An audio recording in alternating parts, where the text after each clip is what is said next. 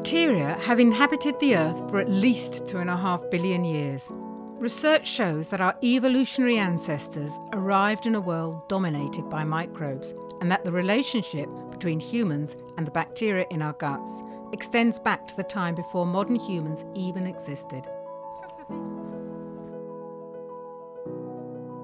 Microbes in two bacterial families, Bacteroidaceae and Bifidobacteria Bifidobacteriaceae, which are present in humans and African apes, likely colonised the guts of a shared ancestor of both groups around 15 million years ago. A diverse range of beneficial gut microbes is essential for a healthy mind and body.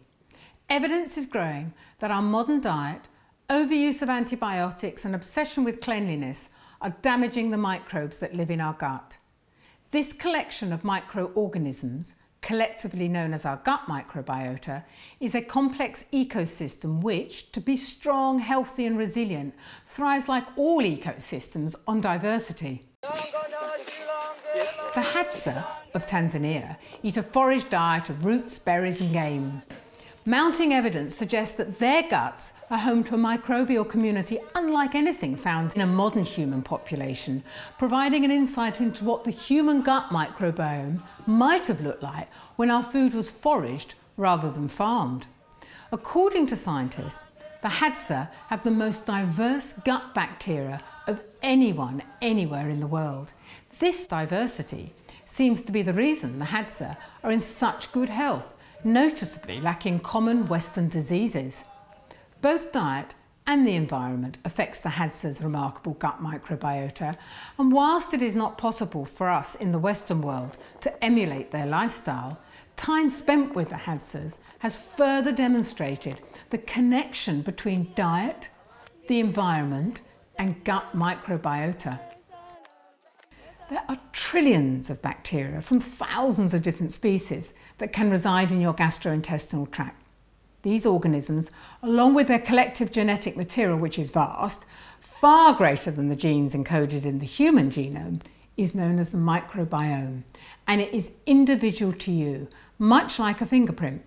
One third of our gut microbiota is common to most people while two thirds are specific to each one of us and is a reflection of who your parents were, where you've been, your age, who you spend intimate time with, what you eat, how you live, whether or not you put your hands in soil and grow vegetables, and much, much more.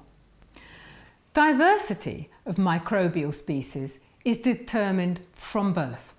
The mode of delivery can have a really profound effect on the gut bacteria.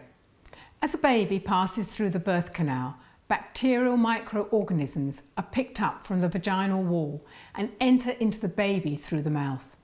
If a baby is delivered by C-section, then the first microorganisms will be different as they will have been picked up from the skin of the mother and others in the delivery room.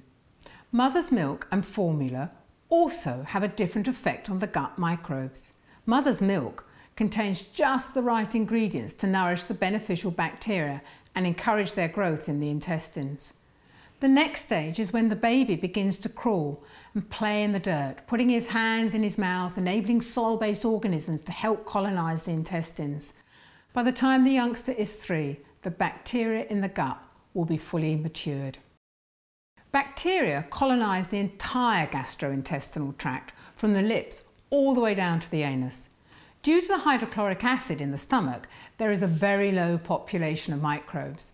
The duodenum and the rest of the small intestine have a quite rich population of microbes, which should be dominated by lactobacilli.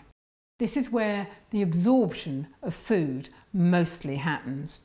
The large intestine or colon is where a vast population of microbes reside.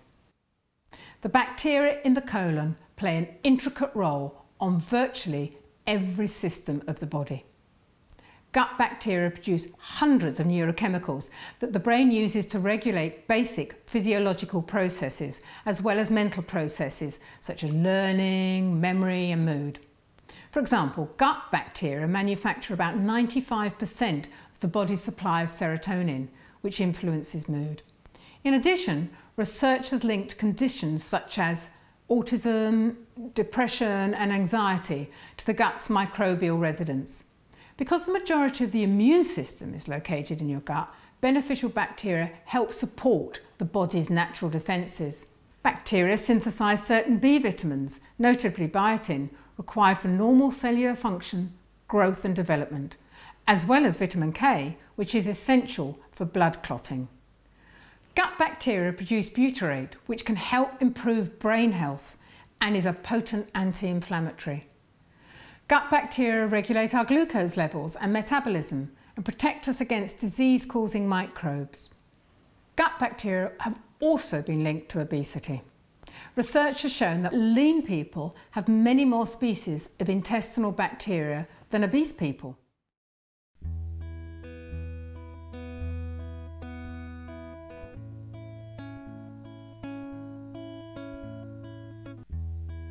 Agricultural pesticides and herbicides, along with industrially farmed meat, can derail your gut bacteria. You can be sure to avoid all of these by choosing organic food. Refined and highly processed food will upset the balance of your gut bacteria. An experiment with a student only eating fast food for 10 days showed about 40% of his bacteria species were lost which amounted to about 1,400 different types. Loss of microbial diversity, such as this, has been linked to diabetes and obesity. Additives in processed foods are also detrimental to gut microbes. A high sugar diet can adversely affect the gut bacteria. The altered balance, for example, can affect both short and long term memory. Antibacterial soaps, sanitizers, and wipes limit the vital evolutionary relationship with the microorganisms in our environment. Stress can be a big factor in overall gut health, so anything you can do to minimize excessive stress in your life will be beneficial. Antibiotics can be life saving. However, if there is a choice, err on the side of caution as they wreak havoc on the beneficial gut microbiota. Caesareans can save lives, but if you have a choice, choose a natural birth. And be sure to breastfeed for six months or longer to optimise your baby's microbiome.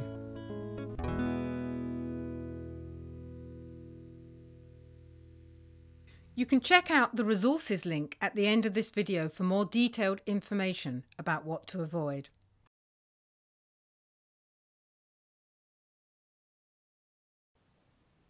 So what are the foods to include in your diet to encourage a healthy gut microbiota?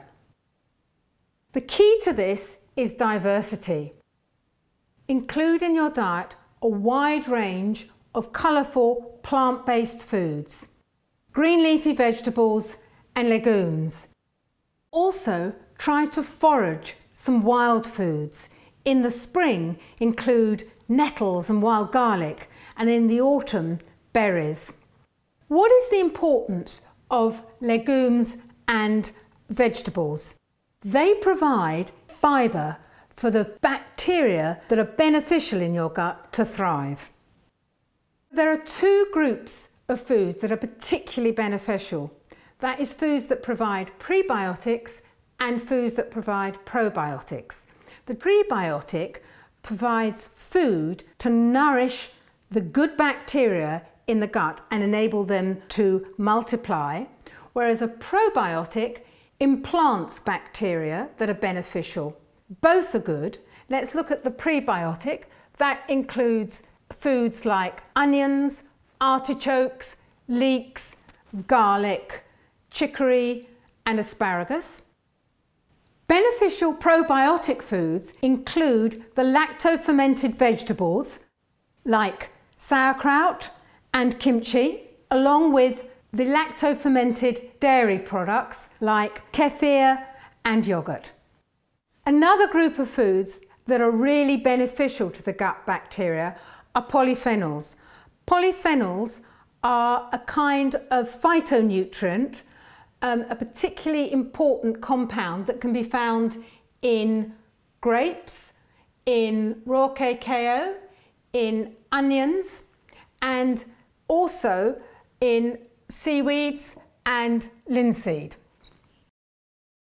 If you want some of my inspiring recipes, check them out on the Greencuisine Trust website.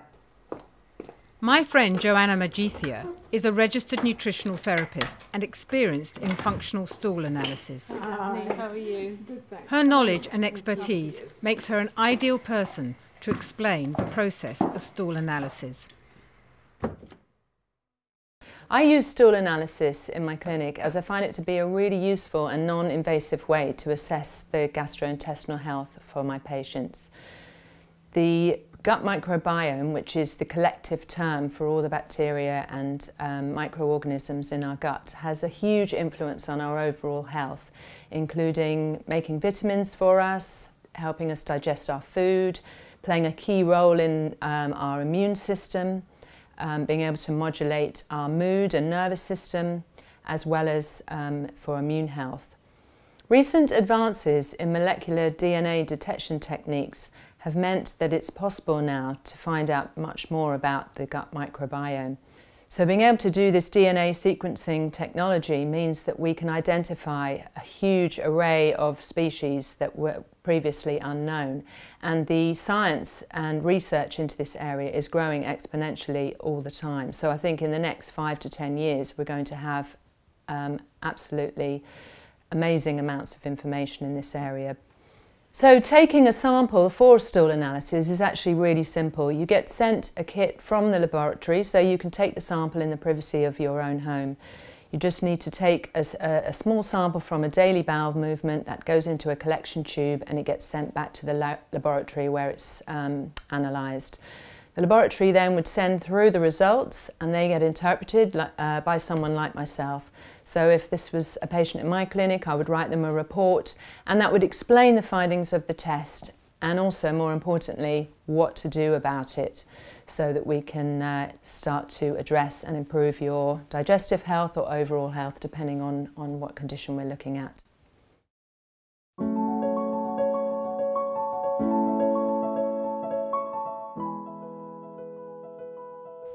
Just shifting away from foods and a lifestyle that are detrimental to gut bacteria and incorporating a wider range of natural foods can often be all that's needed to encourage a greater gut biodiversity.